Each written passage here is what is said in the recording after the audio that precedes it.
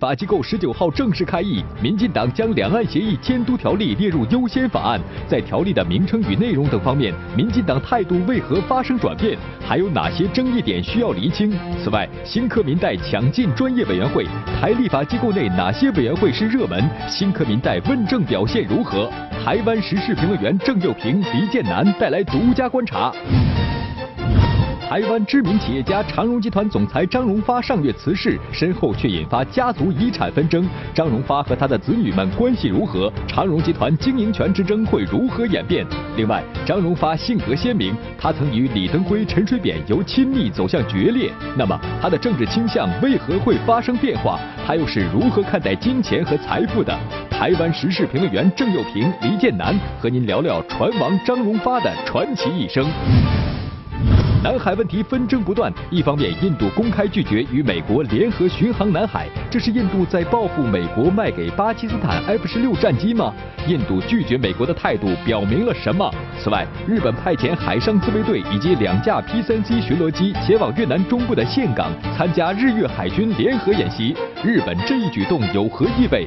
两岸时事评论员宋小军、黎建南带来深度分析。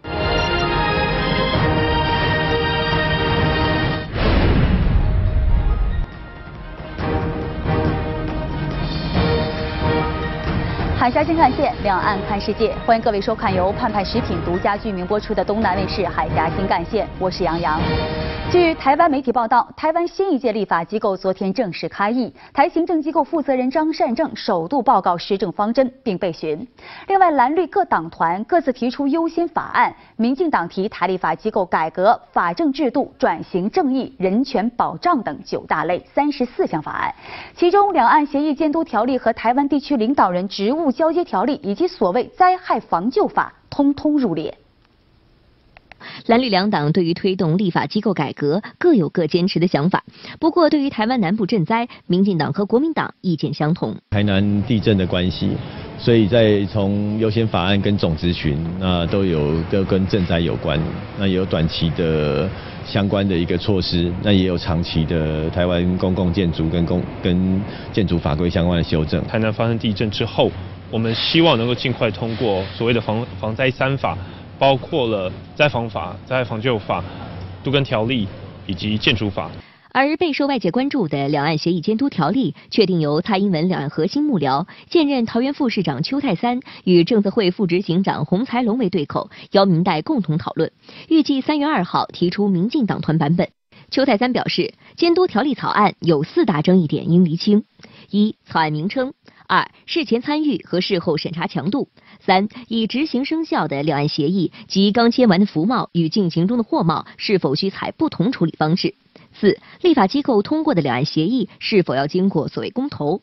此外，昨天第一次到立法机构被询的台行政机构负责人张善政表现获好评。正在当中勇于认识的表现，那我个人啊，愿意给院长还有院长所率领的团队啊。相当高度啊的评价。院长，拜托你，这几任的行政院院长以来，你比较有执行力的。有明代致谢，张善政也频频微笑点头回礼。民进党明代林俊宪更夸张善政是马英九当局最受肯定的负责人，并询问若蔡英文就任后如果留任张善政，张是否愿意留任？对此，张善政予以婉拒，表示五月二十号后有其他生涯规划，感谢民进党团的肯定与好意。昨天，时代力量明代黄国昌也首度站上质询台，议题重点放在核废料以及无薪假。不过，他的质询方式却成为话题，因为他三两句话就要夹杂几个英文单词，这让质询对象一度快动怒。因为时间有限了，所以我如果打断您的发言呢，请请见谅哈，不要 take it personally。黄国昌时不时手叉腰，像是卯足全力质询，言辞犀利，让平常温雅的台劳动部门负责人陈雄文也难得讲话大声一些。部长，您不用激动啊，我给你时，我给你时间。只是就法论法，你只是只会读法律文字的一个人而已吗？相关话题，我们马上来连线台北演博士，青林，把时间交给你。好的，杨洋，今天我们在台北，我们不是邀请到的是时事评论员李建南先生，李大哥好。哎，主持人好，各位观众朋友大家好。台北大学郑佑平教授，教授你好。亲你好，各位朋友们大家好。我们看到昨天台立法机构新一届的会期是正式的开议了。尽管这个事前很多人说这一届的很多新科民意代表进去呢，对这一届的立法机构呢台湾民众是期待值破表的。但是从昨天的表现来看，似乎亮点并不多。至少大家之前希望可以看到的台立法机构的改革的几大重点都没有看到。呃，我们先来看看民进党的几个要优先推动的法案，一个是领导人交接条例，一个是不当党产的处理条例，还有就是两岸协议的监督。都条例，呃，怎么看？民进党把这几个所谓的法案列为优先，教授，我觉得啊，民进党现在这个作为啊，其实是根本不符合民众的需求。民众需求的是什么？就台湾的经济得要搞好，就业率要提升，所得实质所得要能够提升。他现在处理的这几个东西，第一个，领导人的这个交接条例，是因为他私心自用。想要让民进党尽早的掌握权力，但是又不愿意负担这个责任，所以呢，我们看得到他现在搞这个部分。当然，这个之外，党产处理条例、不当党产处理条例，这跟老百姓的生活、跟台湾的经济有多少关系呢？今天凭良心说，这个事情不是不能够处理，你可以稍后处理。你恐怕要优先处理的，譬如说两岸服务贸易协议的条例啊。台两岸之间还有很多的经济问题要处理啊，台湾很多产业的问题要处理啊，怎么都不动，这就表示说啊，他急功好利。那我们必须讲说，对于蔡英文，对于民进党来讲，你现在当务之急是要替台湾提升产业竞争力，改善台湾的经济，人民的生活。但是显然的，他还是在搞政治。相较于台湾领导人交接条例和不当党产呃这个条例呢，势必是会受到国民党的杯葛啊。呃，比较容易达成共识，也比较受关注的，还是刚才这个教授也提到的是两岸协议的监督条例。我们看到这个蔡英文的核心两岸幕僚邱泰三就说，呃，有四大争议点是要厘清的。李大哥，你怎么看待邱泰三的这个说法？首先，第一个，民进党呢，在这一次呢，他会把这个提出来呢。啊，因为宋主席有警告过，服贸协议跟货贸协议呢，如果不赶快定案的话呢，啊，对台湾是会有很严重的一个影响。那当然，他们那个民进党里面呢，他懂得这个的也知道，可是他自己当初给国民党设了一个坎，就是这个监督条例。那在监督条例的时候呢，他弄了两岸监督条例呢，然后在这个当时呢，为了为了为了这个要一个啊，要这个凝聚这个气势呢，啊，中间呢就强调一个国与国的。这个这个监督性的两岸监督条例有强调这个，那现在知道这个是绝对行不通的，所以他现在可能要拿掉。那拿掉就想那就叫监督条例。那如果监督条例，那就表示不单是两岸要适应了，以后你跟台湾，你要跟任何国家地区都要适应呢。那请问你在做任何事情要一个协议的话，第一个你要考虑到就是时效性。如果你到底还是事前监督还是事后审查，那怎么监督怎么审查，甚至还要再弄公投。哪个人跟你签了？签了以后，我跟你谈了半天，都已经谈好了，结果你回去还要那么长一段路来走，所以它是一个，因为全世界没有这样的例子。呃，对于张善政昨天的施政报告和应询的首秀啊，多数的民意代表呢对他的表现是表示肯定的，甚至有民进党的民意代表呢说希望他留在未来蔡英文的行政团队里头啊。很多人说这个呃绿绿绿营的这个民意代表呢已经开始公开挖角了，呃。李大哥，你怎么评价张善政昨天的表现和这个绿营的这些民意代表的这个出来的做法？他在这个时机上来讲，他知道他就是一个过渡，啊，那他就比较圆融，他处理比较圆融。那他的个性上面也就是一个啊，这个人就是他也是很懂得藏锋，也很会藏拙的一个人，啊，所以拿点好处。那另外，因为以前马英九曾经叫民进党自己组嘛，那民进党不组，那民进党不组的话，这个时候如果对张善政太过分的话，那正好就。就所以他们也是希望就是平安度过，嗯，所以在这个情况下，大家呢啊就会变成是一个在在在这个情形就是说啊这就不会发生激烈的一个冲突。那至于有人讲说到蔡英文行政团队，我不知道这个人是不是自我膨胀，蔡英文有答应你吗？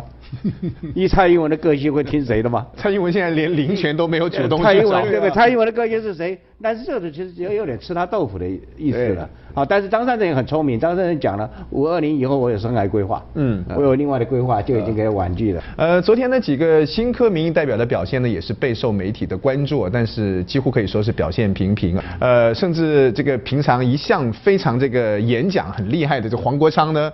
被这个劳委会的负责人这个回去的时候呢，突然间都哑口无言了。所以我们看到的是，只是不少人啊，这个年轻人在不断在质询的时候冒出一连串的英文来刷存在感。呃，教授你怎么看他们的表现？呃，时代力量的黄国昌啊，以他为例呢，他昨天在很多咨询的议题上呢，看得出来他有做功课。他你我们凭两五公斤的资料，他有做功课，但是呢，功课做的不够，这是一个。第二个呢，他显然还是想要凸显自己的这种学者专业的形象，所以没事呢丢几句英文出来。但这个英文其实用的又不是关键字语，很多都是语助词，其实大可不必的。在台湾的政坛里面，其实没事加两句英文，并不一定是受到肯定或欢迎的啊。那他这样子做呢，可能凸显他自己跟别人不一样，他留过洋，喝够点洋墨水。但凭良心说，不管是行政官员，或者是在座的各个民意代表。多少人留过洋啊？没人像他这样子表现自己，这就是我要 make the point。他实在很可笑了啊！这就表示说他心虚了，讲穿就是心虚。其次，我们可以预期的是，他现在提出来有些观点，跟蔡英文、跟民进党未必完全吻合，所以时代力量这几个人。恐怕未来会是民进党在立法部门在议坛上的一个隐忧。是，昨天在这个台立法机构的这个第一次这个会议结束之后呢，我们看到这个新科的民意代表，原来这个有个乐团的主唱出来呢，也是面对着这个境外的媒体呢，用英文回答。但其实呢，这个英文很多人说。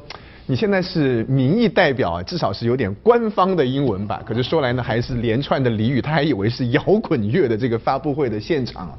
那么接下来马上要进行的就是这些新科的民意代表呢，要选择进哪一些委员会了？其实，呃，一些专业的委员会里不专业的表现，在以往的台立法机构里头呢，这个出了这个呃糗事是一大箩筐，到底是什么样的一个情况？我们先休息下。是泛泛食品独家居民播出的东南卫视海峡新干线，我是叶庆林，欢迎您继续收看。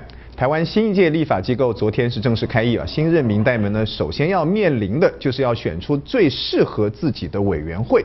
根据了解啊，民进党团的民代们呢，比较倾向于教育、文化和社会福利以及卫生环境这两个类别，而国民党的民代呢，则偏向经济和交通。我的首选是教育文化委员会，那希望不管是在这个文化政策的部分，然后还有教育政策部分来贡献。有关系交通的议题、经济相关的议题，其实都是我过去比较擅长的。那这两个委员会也是我比较驾轻就熟。那就我过去的专业跟我自己所学的，我希望有机会优先进这两个委员会。台立法机构内阁委员会该如何做分配？党团各有盘算，但一般来说会根据连任次数、是否担任党职、专业背景程度来去做积分评选。选择哪一个委员会，他最主要考量是他能不能让他下一次选举的时候呢，很容易就可以当选。好，所以说。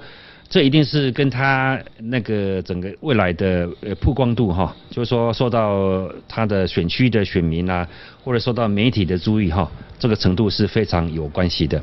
另据台湾媒体报道，肩负选战操盘的国民党秘书长李四川日前表示，国民党第一次在台立法机构成为少数党，必须扮演好角色。蓝营明代要向民进党明代学习，更加认真表现，才能够重新拿回执政权。否则会泡沫化，走入历史。李四川说，民进党拥有六十几席民代，国民党已无所谓优先法案。对所有法案条文，国民党一定要非常用功，挑出民进党缺点，再提出进步法案。如果没办法挡下民进党不好的政策法案，也需对外将不合理之处清楚说明。我们看到前几天国民党的秘书长李四川说，国民党籍的民意代表呢，应该向民进党来明代来学习。他认为民进党的民意代表呢比较用功。那么从昨天的表现上看，事实上是李四川说的这样吗？要的。首先，因为我自己干过党部书记哈，我对李四川讲这句话我是非常痛心，因为他是行政官僚出来，他不知道就是过去因为你是执政党，你执政党是怎么对国民党立委的？你在立法的时候有没有请立委来谈？然后没有请他来谈，然后来的时候就要这些就支持你，就叫同意。那因为他要同意你，所以他不去找你的茬，不是他不用功。那在野党是要找你的茬，所以他们叫用功啊。那你不能讲这个叫他叫他不用功。所以过去啊，台湾有个现象就是说，这些行政官员呢，他们都是一种优越感。尤其马英九上台以后，他特别注重这些有学历的行政官员。那他不晓得地方上在经营在耕耘的那种辛苦，所以他们有时候对党务工作人员看不起。然后对这个中南部这些出来这些立委看不起。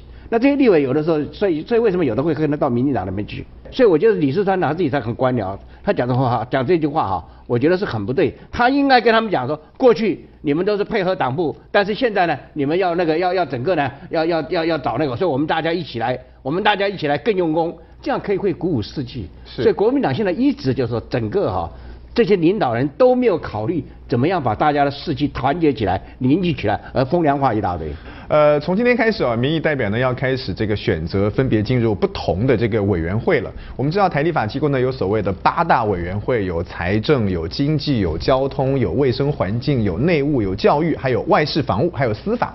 通常啊，哪些是比较热门的，哪些是比较冷门的？这是为什么？这个牵涉到就是说做秀嘛。在台湾这种选举政治的环境里面，作秀是很重要的。你如果选民在媒体上看不到你，你大概将来要这个重新当选的几率要连任就难了。所以他一定要可以考虑到说，我第一要有利益，我我绝对同意刚刚李老大的分析，利益是很重要，这不是蓝绿的问题哦，这是所有的民意代表本能的。他大概就会去思考这个问题，尤其是地方选举出来的，他特地会去考量就是利益的问题。再过来，他要考量曝光率的问题，这个议题好不好作秀，这个议题能不能让我在媒体上不断的曝光。再过来是专业，当然有一部分人，我们不能否认啊，在一百多席里面，总是有一群人他很讲究自己的专业，但是利益考量、媒体的考量等等。都是他们重要的优先考虑因素，社会福利、卫生环境，这是什么？其实卫环这一块，普遍的被民进党的这些朋友们认为说是很大的一块肥肉，因为环保是大笔的资源在里面，卫生医疗更是天价般的预算在那边，这个大饼谁会放过？社会福利也是一个不得了的庞大资源，因为社会福利未必那个钱可以进你的荷包。但是那个钱可以拿来为你的选区所用。这就不一样了，所以讲穿了还是利益的考量为主。对于这些新科立委接下来怎么表现，他们接下来会选择什么样的委员会？有人说，你有是不是身上有这个三两三才能够选择上什么样的梁山？呃，接下来我们先休息下广告之后，我们来回来一来关注最近呢一直上台湾媒体这个头版头条的关于长荣集团这个创办人张荣发先生在过世之后留下来的这个呃遗嘱的分配，包括接下来的权利的分配。到底怎么个？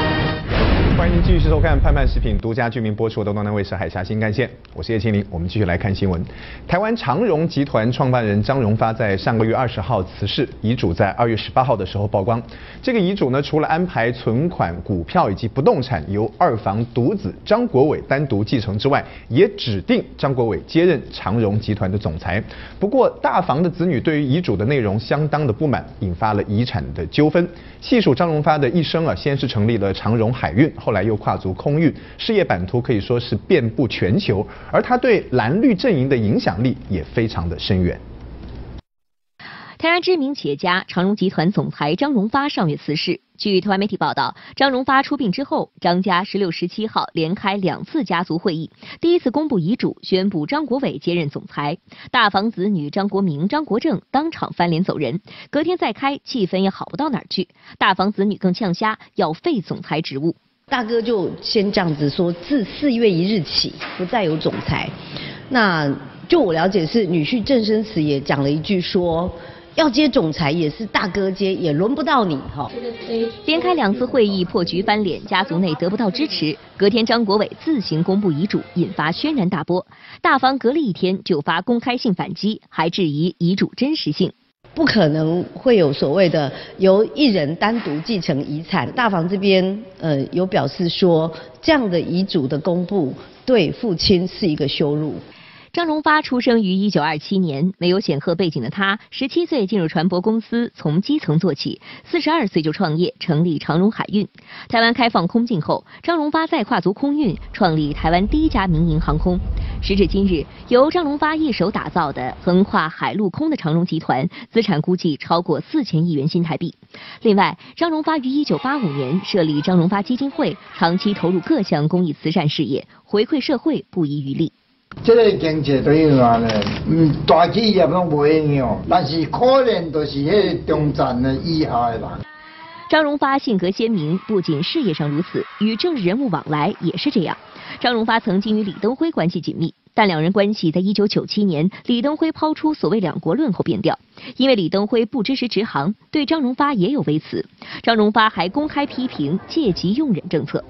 两千年台湾地区领导人选举，张荣发公开力挺陈水扁，并且出任其政策顾问团顾问，希望陈水扁上任后会加速推动直航。但没想到陈水扁在独派压力挟持下，还是没如他的愿。两千零二年，张荣发在日本宣布与台湾绿营划清界限，后来更不为由绿转蓝的眼光，改挺马英九，坚定捍卫两岸直航的信念。每日你想讲要选举讲法，明仔载条。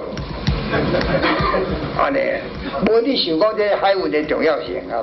像即马交通部长也好，什么部长也好，拢话讲讲啊。张荣发曾大骂台当局，表明立场。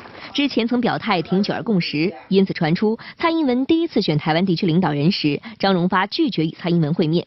张荣发在运输业影响力大，在台湾政坛上，他的蓝绿政党人脉广泛，影响力同样深远。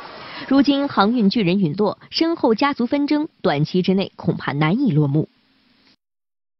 呃，我们看到这个张荣发二房的这个独子张国伟呢，只是当了这个一天的总裁啊。他昨前天是宣布了说自己接任总裁，昨天上午呢，以总裁的身份进了总部去开会。可是到了晚间的时候，集团就传出了长荣集团总部解散。以后没有总裁这个职务了，呃，张国伟呢，他说是有老陈在背叛他，也违背父亲的遗愿。这个张荣发先生不是留下了非常明确的遗嘱吗？为什么还会出现这种情况？教授，当然了，这个张荣发先生对于他这个宝贝儿子张国伟呢是很照顾，那么也给他了一定的历练之后呢，最终这个张国伟还蛮争气的，他为了要接长荣航空啊。还去考了一个专业这个机师的证照，那么这对一般的富二代来讲是其实是没必要的嘛。我记得长荣首飞呃两岸直航飞北京就是张国伟自己就是张国伟亲自操刀啊。嗯。所以你说张国伟这孩子呢，呃还争气吗？他还蛮认真的。但问题在于说，这些台湾的有钱人呢，总是大房二房三房，每个人都喜欢搞个三妻四妾，然后子女满堂。到了晚年，通常都会做股权分配，这一点张荣发也做了。就每一个小孩，你都有一个事业体、一个事业部门，然后股票我也给了你了，让你可以主导。但是呢，通常他们都希望把这个整个家族呢继续 hold 在一起，继续留在一起，变成是一个大的这个企业集团、企业体。可偏偏。通常会是老大长幼有序，老大来接这个接这个班。在这一次呢，他点了张国伟。你说是大房不行，大房无能吗？也未必见得。我们必须讲说，在法律上，他的这几个其他的儿子子女呢，都蛮聪明的。早就研究清楚了，就这件事情，我们今天既然是各自独立的事业体，各自独立的上市公司，我们有我们各自独立的股权结构。我今天这么做，你这只是一个形式的集团总部，我就算宣布解散了，你能奈我何？但最起码我们不必听命于你，张国伟，终究你才是二方而已啊。所以这个都是心结，但从这个心结里面看出来是什么？就是台湾的企业走到今天。这么全球化的时代里面了，更何况长荣集团高度全球布局的一个事业体，居然会出现如此封建的继承斗争大戏，实在让人觉得惋惜，也觉得很荒唐。呃，李大哥，我们看到这个张荣发这个有明确的遗嘱，但是依然现在还发生了这样的关于接班人的这个开打啊。那么根据相关的法律规定和目前长荣集团的现状啊，接下来这个经营权，呃，接班的问题会怎么演变？首先，张国伟就只能当这个一天的总裁了吗？这个这个遗嘱哈，在形式上是完全合法，但在实质上是有争议、有问题的。第一个就是张荣发在心态上还是把长荣当个王国。所以老黄驾崩了，就指示谁当继承人啊？指示这个小皇子当继承人，他有这个味道。但是，所以我们常讲，这个公司都是上市公司。我们常讲，这个公司，他认为这个公司都是他的，可是，在法律上，这些公司是股东的，这是上市公司，不是他的。这些公司是股东，不，你不能以这个来来那个。第二个，他在遗嘱上通通给一个儿子，在台湾的法律哈，继承一个叫应继分，就应该分多少。但是还有一个，你不照应继分的，你要有特留分。所以每个儿子，好像说本来本来可以分二十亿，你说不给他，都给都给这个张国伟，他们可以要求特留分十亿，就一半。他可以要求一半。目前为止啊，我们看到呃股市的波动情况好像没有什么太大的冲击。但是后续如果这一个增产的效应啊持续，而且是丑戏这一种司法争斗的戏码，如果持续上演的话呢，那就有可能影响到公司的股价。如果影响到公司的股价下跌，这几个就算宝贝儿子你拿的股份有个百分之十几二十，又怎么样？在公司的股东大会上，你依然会被攻击，严重的批判说你伤害到全体股东大众的这个权益。那么在这样状况之下，没有一个人承担得起这样子的一个指控。所以我认为说，后续他们会发现说。股价如果有波动，他们会自己要知所收敛。再这样做下去的话呢，只让人家看出来说你长荣的集团高层呢这种心结是完全不利于整个事业的经营的。所以我认为说哈，长荣的这一些子女，张荣发的子女们，如果够聪明、够理性，就晓得说这个事情让他早一点落幕就算了。没有必要在这个争夺无谓的总裁空名，终究这是虚名。所以呢，呃，其实呃，一个公司上市了以后，它就是社会的企业，不是你家族的企业了。我们也注意到，这个张荣发的遗嘱中呢，还有这样的一条啊，就是呃，各个关系企业每年如果有盈余，本人呢希望仍然需继续捐款给张荣发基金会，继续支持及关注基金会的所有事务，持续行善布施，回馈社会。从这里我们也可以看出张荣发他的这个价值观跟金钱观。我们知道张荣发自己是白手起家，他后来是捐出很多钱来去这个捐给一些贫寒子弟去学习。所以张荣发自己本身在台湾的社会评价怎么样？张荣发啊，跟常王永庆这两位老先生，其实在台湾社会里面一般的评价很高，人们很尊重他。他也是一个很虔诚的宗教信徒。早年他曾经被误解，认为说他是支持陈水扁的，他是阿扁的背后金主。或许他曾经有过，也有人把他。解读成说是台独的支持者，因为长隆集团的主要颜色是绿色，叫 Evergreen，永远绿啊。这个跟好像民进党好像有这么千丝万缕的这个连结，但张荣发据了解，他其实不太高兴这件事情，他觉得说。我张荣发做的是一个全球性的事业，我并不是特定支持什么台独势力啦什么，所以他自己后来做的很清楚，记得吗？在前几年的选举的时候，张荣发曾经公开出来说他支持一个中国的，支持九二共识的，所以对他来讲，他其实了解说整个事业体的走向应该是如何，经营跟政治上还是要画一个区分。据了解，蓝绿候选人去看张荣发的话，他大概都会给一些。这个礼遇都会给一些帮助，但他从来不会说真正的全心投入去支持某一个政党势力，这是一个。另外一个，张荣发他做了很多慈善事业，这一点是毋庸置疑的。其实长荣集团在台湾办学校、办慈善机构，他们投注了非常多的心力，在很多的灾难事件里面，你看到长荣集团都是一马当先，做了大笔的捐献。他们这个企业是很有社会良心的啦。平常一说社会责任感还不错，所以一般来讲，人们对张荣发的印象很好。有人说这个不管是这个张荣发也好，还是王永庆也好，还有之前星光的这个吴家也好，最后呢这个大家长过世之后呢，兄弟就戏强了很多晚辈呢，从此不仅是不相往来和被成为敌对的这种这这个一直在争一直在吵。说这个有钱人过世之后呢，留下了巨额钱财，变成是照妖镜了。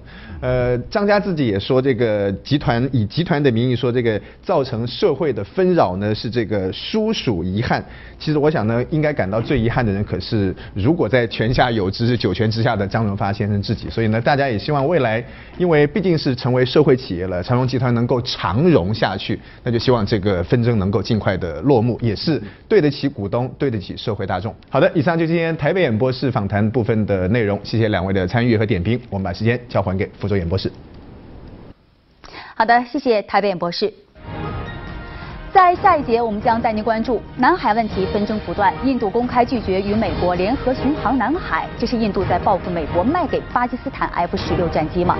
印度拒绝美国的态度表明了什么？我们稍作休息，广告之后，两岸时事评论员宋小军、黎建南为您带来深入。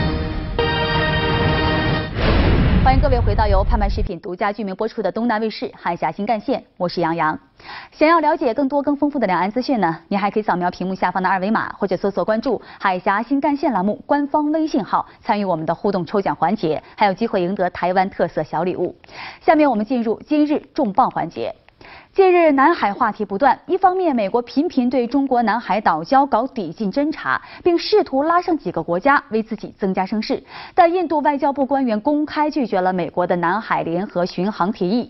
另一方面，想要在南海搅局的日本派遣海上自卫队以及两架 P-3C 巡逻机前往越南中部的岘港参加联合演习。据悉，该演习旨在南海领土争端中监视中国。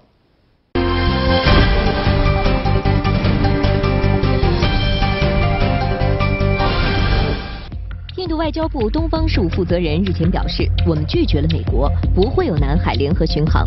印度此番澄清性表态，是在美国刚刚对中国在南海军事化表达担忧之后，也正值美国表示将向印度的老对手巴基斯坦出售 F 十六战斗机之际。外界解读，印度此举是在报复美国，在南海问题上不和美国同调。不止如此，日前一位美联社记者也质疑美国国务院在南海问题上有双重标准。When you sail military ships or say put military aircraft in there, it doesn't reduce the tension.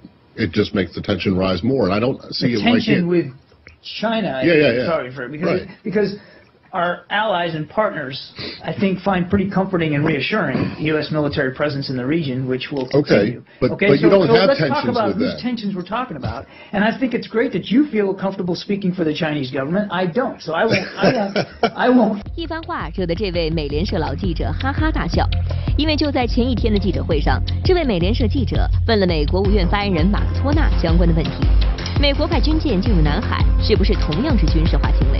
马克托纳回答：那只算是自由航行。美国务院前后态度反差，让人寻味。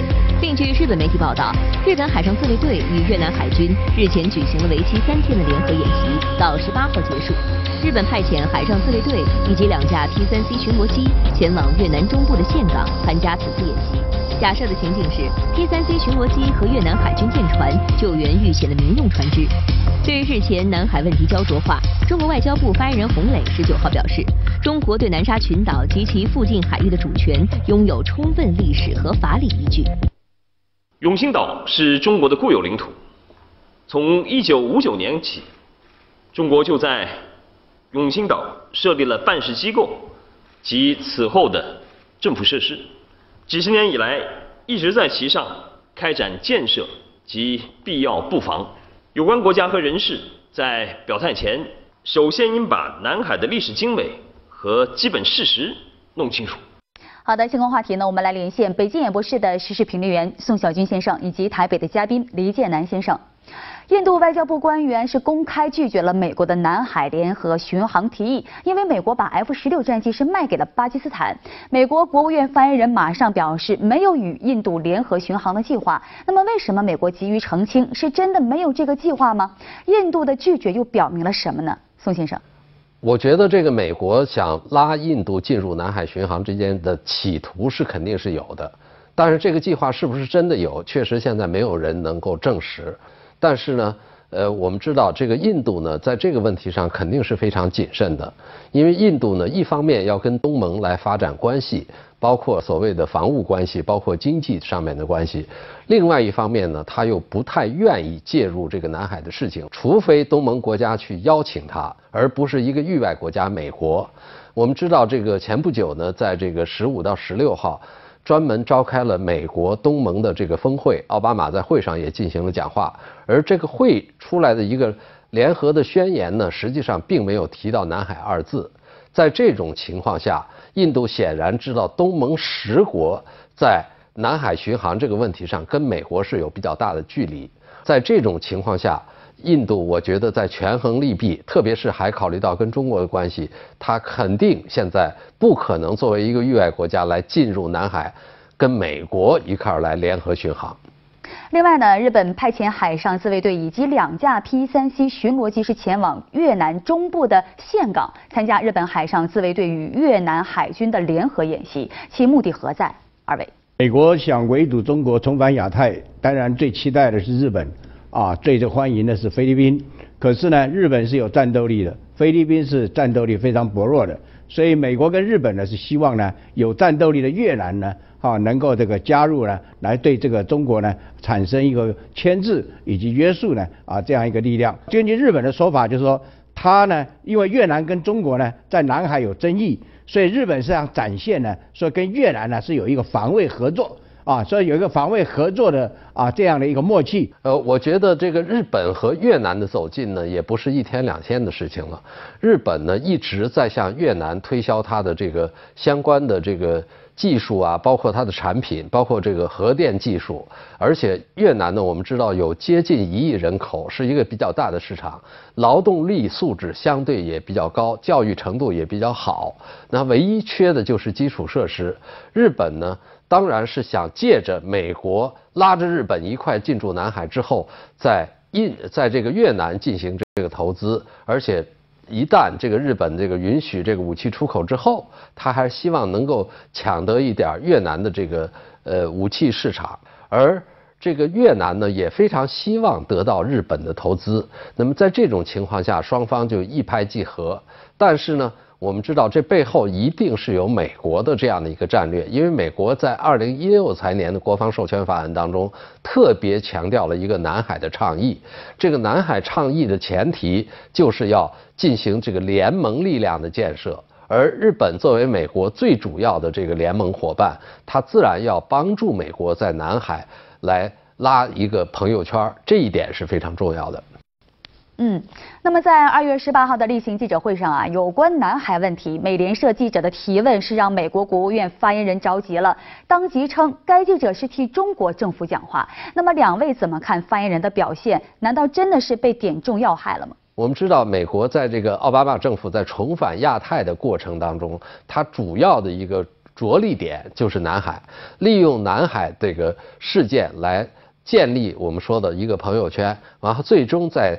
推动这个 TPP，那么我们知道 TPP 主要是一个贸易贸易协定，当然了，就是通过安全话题来加强这个经贸联系，为美国赚税收，这一点确实是美国的一个利益链条。从这个角度上来说，这个发言人认为，美联社记者作为一个美国人，你怎么会违背美国的利益呢？他肯定是这么想的，所以呢。我们看到这件事情呢，它可以说是在美国内部它的一个争吵，而美联社的记者呢是就事论事，说什么是军事化？难道你美国的军舰去那儿就不算军事化呢？当然，他这么说的意思也有提醒美国政府的意思。这记者提出来呢是非常合理，但是这个问题呢啊，就正好就打中了一个美国的要害。其实美国的心态呢啊，就是什么唯恐南海不乱。因为南海一乱，各国一乱，它就有呢啊，它就有这个涉涉入干涉的一个一个正当性啊，跟一个合理性啊。可是呢，他不能讲出来啊，他只能讲说为了缓和这个地方的局势，为了地方和平。所以被记者一逼的时候呢啊，那对他来讲呢啊，就是很难回答。所以发言人讲了一个话，就说啊，难道就是说啊呃，你是替中国政府讲话吗？还挺自在的。啊那可是人家是就事论事谈一个问题嘛，啊，那你自己美国不合理，那你那人家觉得不合理，跟你提出来，那你怎么说人家在替中国讲话呢？所以我们可以看出来，就是说啊，整个呢啊，这个美国啊啊发言人呢，他不但蛮横无理的，而且是强词夺理。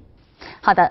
据《环球时报》援引香港媒体报道，在日本对南海问题指手画脚、无事生非之际，中国一支舰队悄无声息地围绕日本列岛旅行一圈，以实际行动警告日本不要欺人太甚。中国舰队从一月二十六号开始穿越对马海峡向东进入日本海，随后于二月二号通过金青海峡穿越日本列岛，又在近日穿越大隅海峡返回东海。这支包括驱逐舰、护卫舰、电子侦察舰以及补给舰的中国舰。舰队所经路线如此特别，被认为是中国海军史上对日本最壮观的一次示威航行，使日本防卫省大为紧张。好，那么我们再请教一下宋先生，你怎么看我国针对一些国家无端指责以及挑衅行为的反应及动作呢？呃，我觉得中国在这个南海问题上呢，确实是跟以往有一些变化。我应该说更加的腰杆直了一些，因为有些东西的原则是我们该坚持的就坚持，比如在永兴岛部署这个防空武器的问题，比如在正常的按照联合国海洋法公约，我们在正常的海域进行这个海军的训练，包括我们的航行，这都是要表明。坚持我们的原则，那么恰恰是这些行动，才回过头来证明，该属于我们中国主权的一些领领土范围、主权范围之内的东西，我们要坚决捍卫，这样反而才能把问题说清楚。好的，谢谢二位的分析和点评。下面我们进入盼盼食品热点快评环节。当地时间二月十八号，二零一六年首次欧盟峰会在比利时首都布鲁塞尔举行。峰会最主要的议题是磋商一份各方都能接受的折中方案，从而让英国继续留在欧盟。经过为期两天的谈判，欧盟与英国就有关欧盟改革方案达成一致。而英国首相卡梅伦则在记者会上说，谈判协议为英国获得了在欧盟中的特殊地位，足以让他敦促英国民众公投续留欧盟。在本次欧盟峰会之前，英国已定于二零一七年年底前就是否脱离欧盟举行公民投票。去年十一月，卡梅伦就英国留在欧盟开出四大条件，包括确保欧洲共同市场、对英国等非欧元区国家一视同仁等等。其中，关于移民福利制度的改革最富争议。这次峰会达成的众多协议中，就包括英国可以在七年内对移民申请福利采取紧急刹车令这一条款。只是卡梅伦在说服欧盟成员国领导人之后，还要说服众多希望英国脱离欧盟的内阁成员及英国公民。英国是否续留欧盟仍是未知数。欧盟的另一个成员国瑞典也在面临移民问题的困扰。针对每天上千难民持续涌入境内的现状，由于无法找到足够多的房屋和床位来安置难民。瑞典移民部门想出了新招，租用一艘名为“海洋盛典号”的豪华游轮供难民住宿，租期至少一年，日均耗资高达九点三万美元。这艘豪华游轮上有剧院、游泳池、赌场等娱乐设施。按照瑞典移民事务管理局的说法，可为等待办理移民手续的难民们提供有益身心的休闲娱乐。瑞典官员对此颇感自豪，强调这是移民部门打破常规思维想出来的好办法。那么这到底是度假呢，还是安置难民呢？尽管租用豪华游轮的计划已经在进行中，但是瑞典移民事务管理局还面临着其他的难题，比如把这艘巨型游轮停靠在哪儿。由于欧洲多国近来是相继爆出难民大规模抢劫和性侵女性的案件，导致欧洲民众对难民的态度转冷。海洋盛典号计划停靠的相关港口，当地民众反对声不断。此外，由于游轮还需改造，所以难民们恐怕难以尽享一艘游轮的标配乐趣。豪华游轮最终能否变身难民船？理想很丰满，只是现实也许很骨感。好，我们再来看下一条。要实现梦想，首先需要付诸行动。美国航天局十九号宣布，在新一轮宇航员招聘中，有一点八三万人提交了申请书，这个数字是二零一二年招聘时申请人数的三倍左右。美国航天局局长博尔登在一份声明中说：“有这么多拥有不同背景的美国人希望成为宇航员，为美国的火星之旅开辟了道路。同样有着太空梦的，还有来自秘鲁的一批土豆。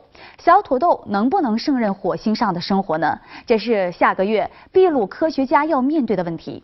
美国航天局最近正在跟秘鲁的利马国际土豆中心合作，进行一个具有开创性的实验。”他们将对一百种精心挑选出来的土豆品种进行培育，以确定它们是否适合在火星上种植。而这最终将为人们在这颗红色星球上种蔬菜铺平道路。这不仅让人想起了美国科幻大片《火星救援》中种植土豆的一幕场景。据法新社报道，美国航天局还计划在秘鲁沙漠中建造一个火星研究中心，这里将完美复制火星上的地形和大气条件。如果电影《火星救援》晚几年再拍摄啊，也许就可以在这个火星研究中心取景了。千百年来，人类从未停止过对外太空探索的脚步。大胆的想象，科学的求证，人类太空梦想照亮现实的那一天不会太遥远。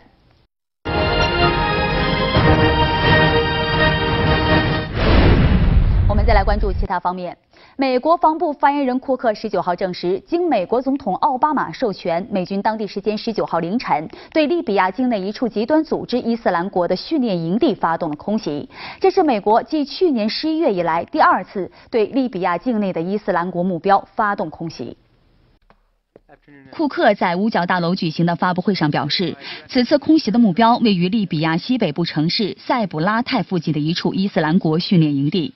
空袭目标是该组织突尼斯籍高级头目舒沙纳，他参与组织策划了去年发生在突尼斯的两起重大恐怖袭击事件。情报人员正在确认舒沙纳是否已死于空袭。据当地目击者说，空袭大约在当天凌晨三点三十分开始，地点在塞布拉泰外围约八公里的一个农业区。现场发现了四十一具死者遗体，还有六人严重受伤。美国总统奥巴马十六号表示，美国将继续阻止伊斯兰国在利比亚建立基地，并将对利比亚境内已确定的目标采取行动。二零一一年利比亚战争结束后，利比亚政局持续动荡。二零一四年八月以来，利比亚出现两个议会、两个政府并立局面，两派武装冲突不断，恐怖组织和极端组织趁机在利比亚境内扩张势力范围。目前，伊斯兰国已占据利比亚东部城市苏尔特、德尔纳，并在迪里波里、班加西等城市附近设有据点。美国司法部二月十九号提出一项针对苹果公司的动议，申请强制苹果公司解锁圣贝纳迪诺枪击案枪手手机的加密数据。这意味着奥巴马政府和苹果公司在安全和用户隐私之间的矛盾再次升级。美国司法部二月十九号提出一项针对苹果公司的动议，申请强制苹果公司解锁圣贝纳迪诺枪击案枪手手机中的加密数据。这意味着奥巴马政府和苹果公司在安全和用户隐私之间的矛盾再次升级。美国联邦调查局在对去年十二月圣贝纳迪诺枪击案中的枪手赛义德·法鲁克进行调查时，调查人员无法获取法鲁克所使用的一部苹果手机内的加密信息，因此需要苹果公司在技术上协助调取关键的加密数据。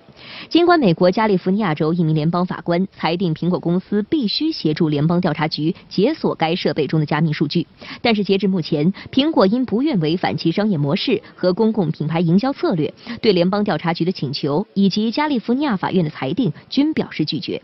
三月二十二号，加利福尼亚州还将再次就本案举行听证会。好的，今天的节目就是这样了。感谢月华不锈钢对本栏目的大力支持。想要了解更多更丰富的两岸资讯呢，你还可以扫描屏幕下方的二维码，或者搜索关注“海峡新干线”栏目官方微信号，参与我们的互动抽奖环节，还有机会赢得台湾特色小礼物。进入二零一六年，东南卫视台海资讯带节目重装出发，三百六十五天带您直击新闻现场。欢迎您锁定每天中午十二点播出的《海峡午报》和每天晚间二十二点播出的《海峡新干线》。感谢您今天的收看，我们明天再会。